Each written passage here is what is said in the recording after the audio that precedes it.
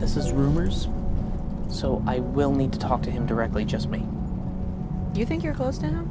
You're just his little rat fucker. I'm just saying, as a matter of fact, that Dad and I have been working closely lately, and I don't want to go in too aggressive. I'm not busting in there crying Team Shiv, okay? We don't know how this is going to play out just yet. You think Daddy's protecting you? Hmm? No, we let Matsson take control. That is Dad slamming the door. It means that he doesn't ever think that we will, can, or should take over. I just don't think we should be aggressive. I mean, can we even actually stop him? Yes.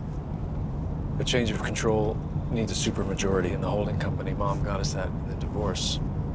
We'd need us on board. Right.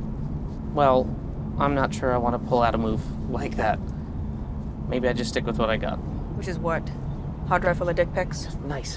Which is, I think with Dad pulling the strings, Where do you think we fit on Matsson's new org chart, Rome?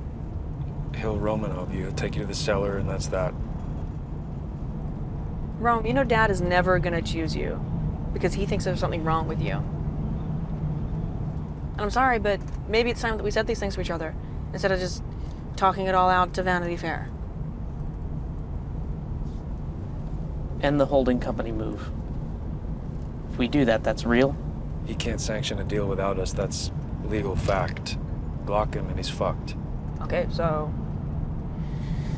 time to rip off the band-aid. We just push him out.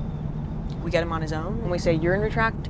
We say shareholder meeting. Right? He nearly fucking croaked at Josh's. Yeah, he's out of it. He's fucking a 20-year-old, and he's planning for babies in jars. You know, he's gone loopy, and he, he's tried to sell the shop. So, I mean, even just fucking his assistant. We tell the board that he's toast. We push him out.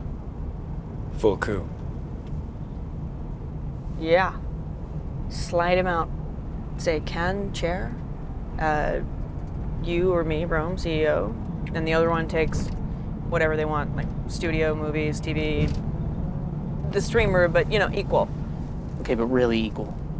Really equal. If we do this, I don't want you two cunts trying to big brother me out of my fucking piece, okay? No, we can fight it out. It'll it'll be fun. That will be fun. we'll fucking take Mussolini away in a van to the hospital, take over the radio stations. Oh, fuck. I do think that even though this literally makes me want to vomit and I want to kill you both every day and it's all going to end horribly, I do think that we puke could make a pretty good team. So, how do we feel about killing Dad? Mixed feelings? Pass me the fucking shotgun. Okay. Rome, you win. Okay. Fuck. Okay.